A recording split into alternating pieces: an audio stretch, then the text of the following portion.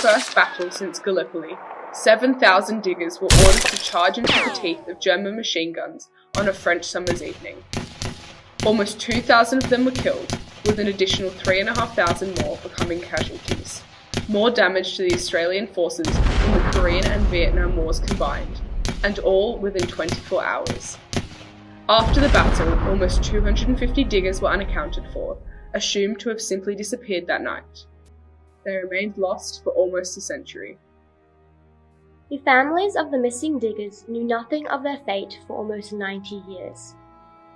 Until a Melbourne art teacher began an extraordinary 10 year detective journey. Against all the odds, Lambis Englezos found the 250 missing diggers in the mass graves where they'd lain since the battle. Since then, almost 160 of them have been identified and given back their dignity by DNA matching with family members. However, 100 of them still remain unidentified.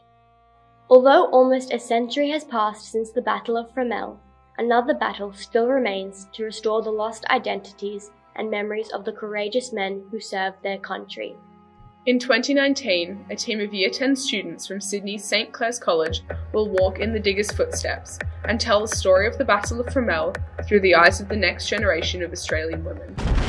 They'll take us on their fascinating journey of discovery, immersing themselves in the diggers' personal stories and revealing their sacrifices, all on the hallowed ground of the battlefield. Now the missing souls of Pheasant Wood have been restored. They've been restored to their families and they've been restored to us.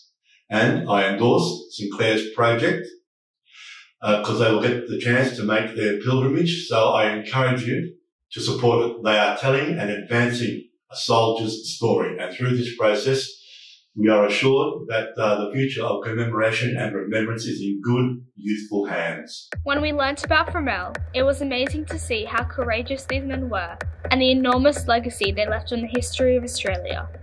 It has allowed us all to be much more grateful for what we have and recognise the huge role these heroic men played. We aim to document our journey throughout this project to keep the memory of Fromelles alive.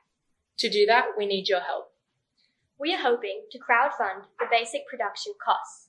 Every donation to our project is tax deductible. We'll make sure every single dollar counts in telling the story of our diggers so they are never forgotten again. They shall grow not old, as we that are left grow old. Age shall not weary them, nor the years condemn. At the going down of the sun and in the morning we will remember them.